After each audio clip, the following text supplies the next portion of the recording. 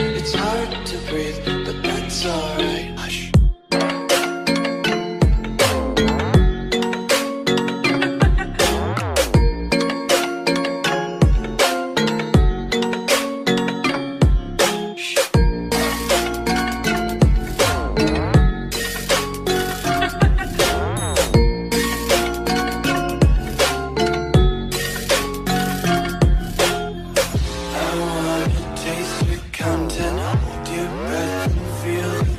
redemption. Devils hide behind redemption.